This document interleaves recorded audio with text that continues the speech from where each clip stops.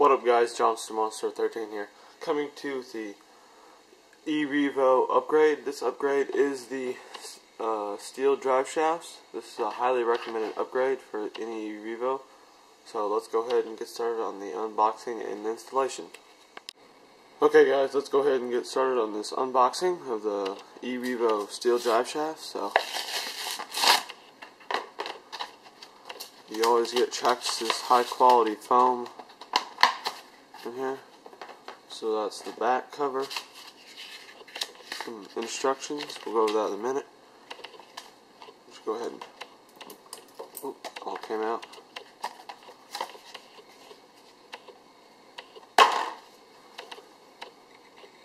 I'll here give you an up close, zoomed in look of them.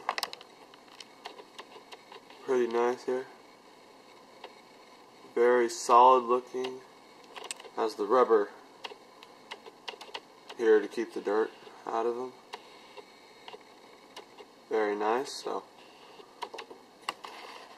let's go ahead and head on to the installation part. Alright, to install these drive shafts here, you'll need to remove this screw that holds in the A-arm, the upper A-arm, and this screw that holds into the lower A-arm.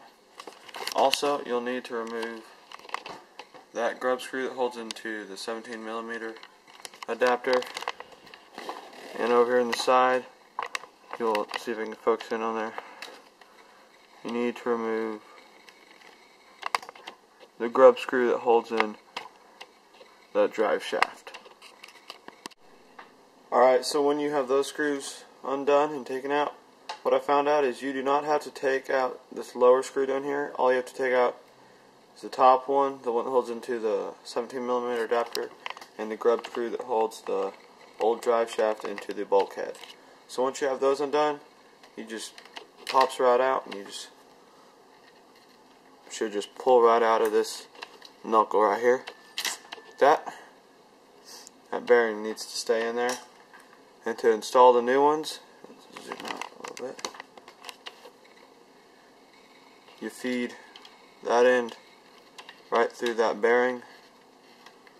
Down there. Like that. And you take this end and put it back where that you took that grub screw out. Up there. And all you have to do now is replace that grub screw. Put this screw this back into the A-arm to hold the knuckle in place. And put back the 17 millimeter adapter once you install all four of them, you you should be done. These drive shafts should hold up a lot better than the old plastic ones back there. I have them all the way around car. All four of them complete.